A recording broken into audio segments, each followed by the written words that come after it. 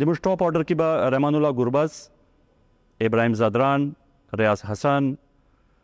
رحمت شاه ظلمتی او حشمت شاهدی وي میډل آرډر کې به زموږ سره محمد نبی نجیب زدران شاهد کمال اکرام علي خیل او عظمت عمرزی وي سپین بالینګ اٹیک کې به زموږ سره راشد خان مجیب زدران محمد نبی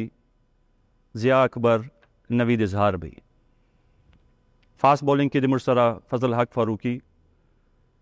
عظمت عمرزی عبدالرحمن سید شیرزاد وفادار مومن او سلیم صافی لکه ما چې مخکې وویلې چې موږ به بیک اپ ریزرو لرو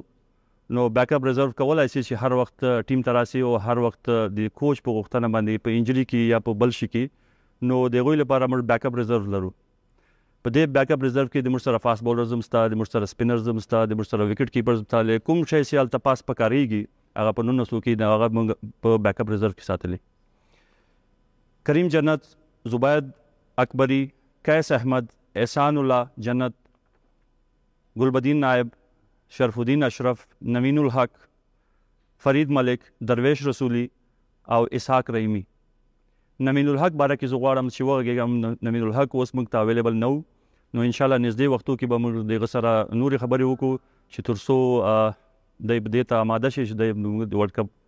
یا د ایشیا کپ یا د نورو ون ډې کرکټ برخه شي.